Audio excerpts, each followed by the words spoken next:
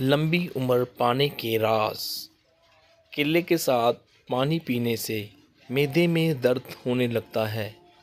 Number दो, खीरा या तरबूज खाने के बाद पानी नहीं पीना चाहिए, क्योंकि इससे हैज़ा होने का डर रहता है। नंबर तीन, दही को कभी गरम गरम रोटी या गरम चीज़ के साथ मत खाएँ। नंबर चार, घी और शहद। कभी भी हम वज़न ना खाएँ। नंबर छः, दूध में गुड़ डालकर नहीं पिए।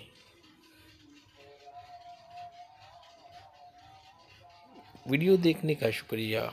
हम उम्मीद करते हैं आपको अच्छी भी लगी होगी और फ़ायदा मंद भी होगी। मज़ीद वीडियोस देखने के लिए ज़रूर सब्सक्राइब कीजिए। J R Y T V को आपके दामन का शुक्रिया। अपना ख्याल रखिएगा।